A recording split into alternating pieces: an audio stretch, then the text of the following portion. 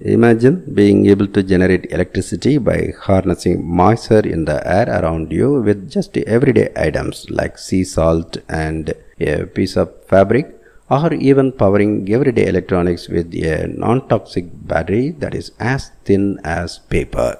A team of researchers from the National University of Singapore's NUS College of Design and Engineering CDE has developed a new moisture driven electricity generation MEG device made of a thin layer of fabric about 0.3 millimeters in thickness sea salt, carbon ink, and a special water absorbing gel.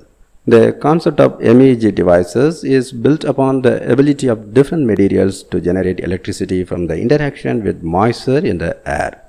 This area has been receiving growing interest due to its potential for a wide range of real world applications, including self powered devices such as wearable electronics like health monitors, electronic skin sensors, and information storage devices.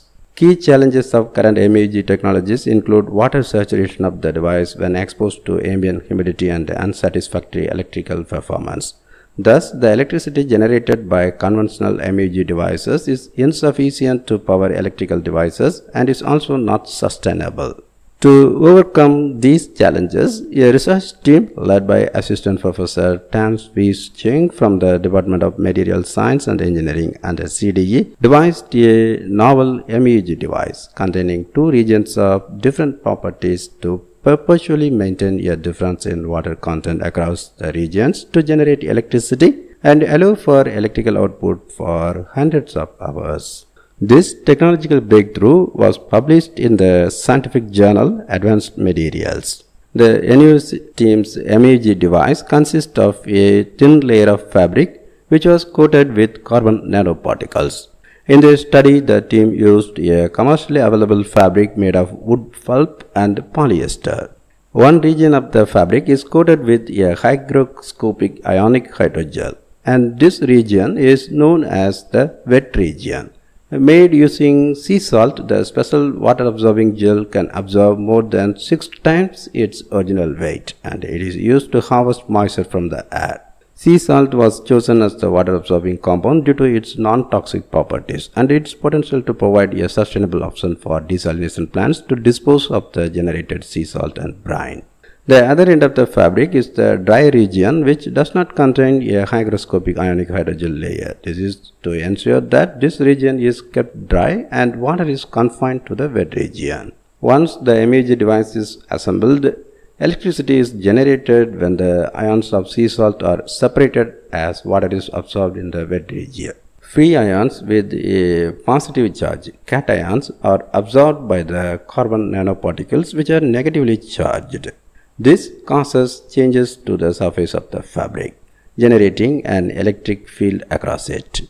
These changes to the surface also give the fabric the ability to store electricity for use later. Using a unique design of wet-dry regions, NUS researchers were able to maintain high water content in the wet region and low water content in the dry region. This will sustain electrical output even when the wet region is saturated with water. After being left in an open humid environment for 30 days, water was still maintained in the wet region, demonstrating the effectiveness of the device in sustaining electrical output. With this unique asymmetric structure, the electric performance of this MEG device is significantly improved in comparison with prior MEG technologies, thus making it possible to power many common electronic devices such as health monitors and wearable electronics. The team's MEG device also demonstrated high flexibility and was able to withstand stress from twisting, rolling, and bending.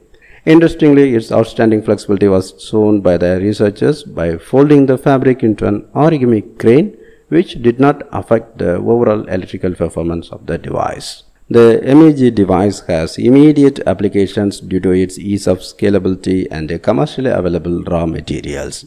One of the most immediate applications is for use as a portable power source for mobile powering electronics directly by ambient humidity. After water absorption, one piece of power generating fabric that is 1.5 by 2 centimeters in size can provide up to 0.7 volts of electricity for over 150 hours under a constant environment. The NUS team has also successfully demonstrated the scalability of its new device in generating electricity for different applications. The NUS team connected three pieces of the power generating fabric together and placed them into a 3D printed case that was the size of a standard AA battery. The voltage of the assembled device was tested to reach as high as 1.96 volts, higher than a commercial AA battery of about 1.5 volts which is enough to power small electronic devices such as an alarm clock. The scalability of the NUS invention, the convenience of obtaining commercially available raw materials as well as the low fabrication cost make the MEG device suitable for mass production. The researchers have filed a patent for the technology and are planning to explore potential commercialization strategies for real-world applications.